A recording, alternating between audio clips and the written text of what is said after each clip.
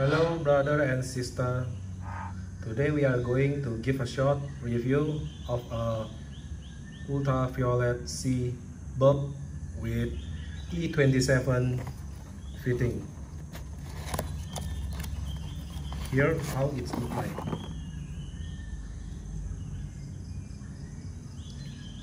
It's written ultraviolet C 25 watt with O3.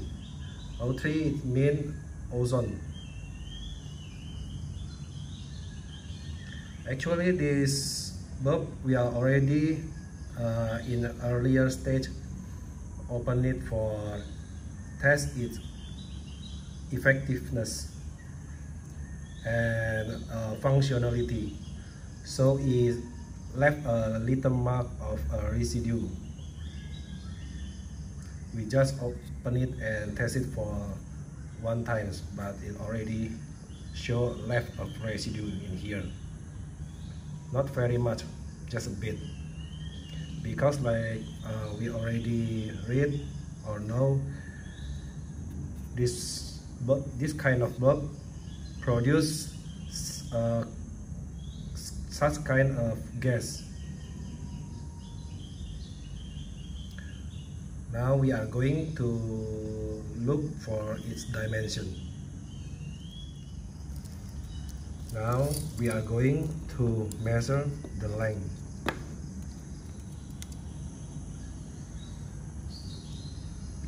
About, about 25 half centimeter.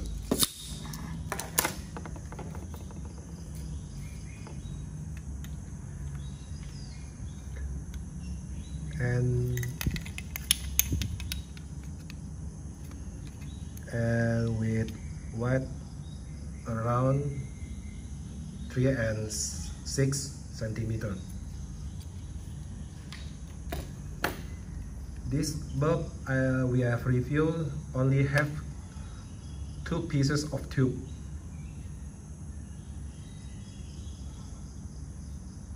You see, as I told in earlier, the bulb left a little bit residue. Even we just open it and try it for uh, first time. Now we are going to see how much this bulb in weight. Okay we put it about 96 gram and now we are going to look how the bulb will look like when we turn it on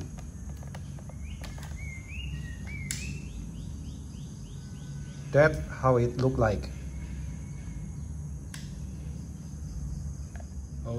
Okay, brother and sister, this is a review of a ultraviolet C 25 watt with ozone O3 and we will end it here and see you next time. Thanks